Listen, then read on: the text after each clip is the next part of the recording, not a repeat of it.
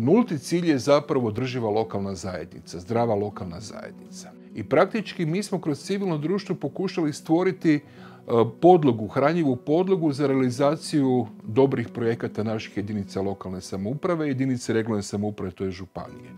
I čini mi se da smo uspjeli.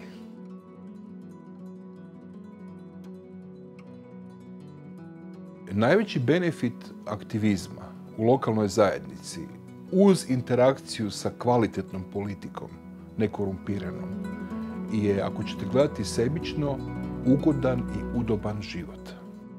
I da praktički živiš održivo, da pokušaš što više lokalnih resursa iskoristiti za neku proizvodnju, da ih podijeliš sa svojom okolinom kroz energetsku poljoprivrednu zadrugu, da viškove plasiraš u odgovornom i održivom turizmu.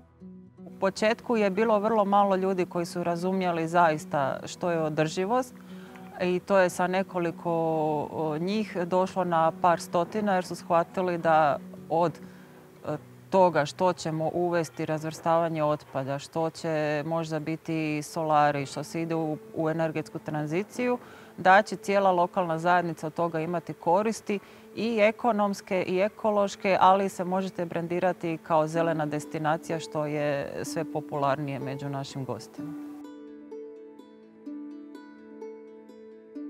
izumio i vrlo je popularna. E, solarna klupa koja ima panele, koja ima priključke za USB i tako dalje.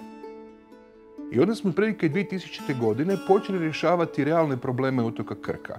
I ukupno imamo 14 projekata u domeni održivog razvoja zaštite okoliša koji su po praktički svim parametrima među najboljim ne samo u Hrvatskoj nego na Mediteranu.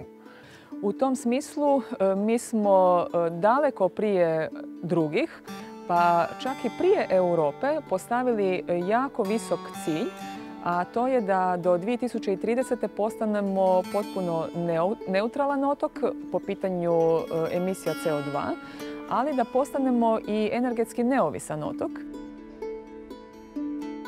Pa pozitivne promjene sigurno ih ima. Na koncu baš oko tih e, mjesta gdje se mogu puniti ta električna vozila, električni bicikli, automobili i tako dalje. Dakle, mi razvrstavamo danas preko 60% otpada, a idemo na 80%. Pametnoj kući, znači uložio sam u jedan sustav e, smart house a isto tako u fotonaponima za proizvodnju električne energije za vlastite potrebe. Trenutno sam u nabavi toplinske pumpe, tako da će moje grijanje i hlađenje onda biti e, iz vlastitog izvora ove proizvodnje električne energije. U našim vinogradima koristimo biognojivo koje je povoljnog sastava, bogato mineralima. Za grijanje koristimo otpad od vinove loze kojeg sušimo i koristimo cijele godine. Omogućuje nam neovisnost, tu je svakako i ekonomska korist. Grijemo se besplatno, e, koristimo električnu energiju i ne zagađujemo okoliš. Kad smo mi počeli sa solarima, onda je država tražila termotranje na ugljen svi naši toliko uspješni projekti su napravljeni suprotno državnim strategijama. Prvenstveno e, razmišljamo o pravima najpogođenijih skupina